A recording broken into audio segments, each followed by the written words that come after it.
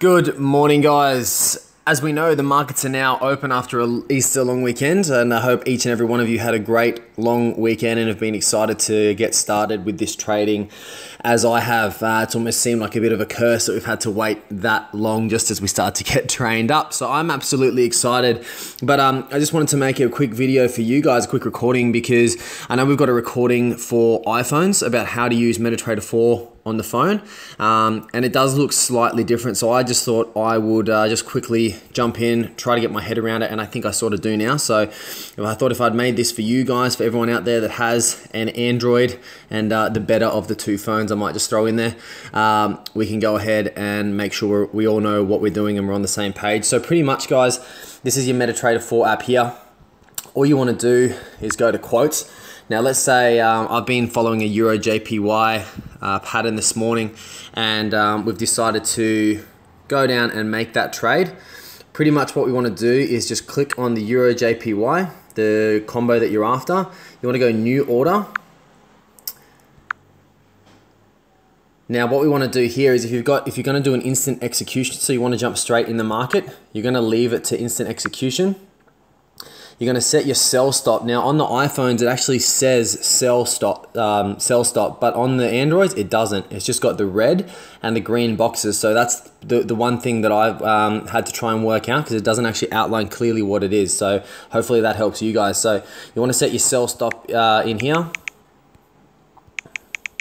So this sell stop was 127 945 and a take profit of 126.167 okay and then obviously choosing your lot sizes. So you can add or minus here. Um, you can throw in one cent 10 cent lots or one dollar lots.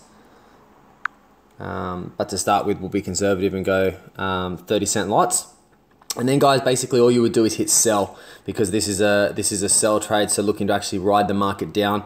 So we hit sell there and you'd be bang, you'd be in the market.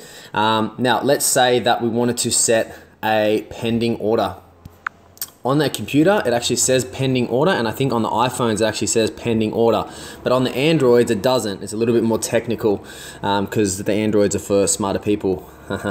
so um, pretty much what you want to do here is go a buy or sell limit. So if it's a trade that you're looking to ride down, it's a sell limit. So you're going to set a sell limit and you're going to put in your price that you're actually going to look to enter the market in. So for example, on this trade, the maximum entry is 127.561 and I've just, all I'm doing guys is reading that off the harmonic scanner basically what we're going to do is set the same sell stop so that's that's going to stay the same there where the little cursor is here now.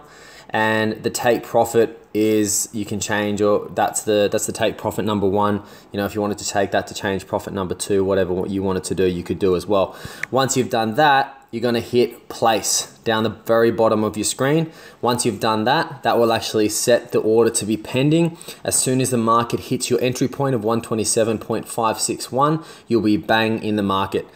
So guys, I hope that helped a little bit. Um, the other thing you can do is jump over here into your charts. You can pinch and zoom like the iPhone into your trades so you can actually see I've entered an instant execution trade a little while ago and also set a sell a pending order for the um, for what we just spoke about then as well. So go, sorry guys, my phone's just going nuts here. Mm.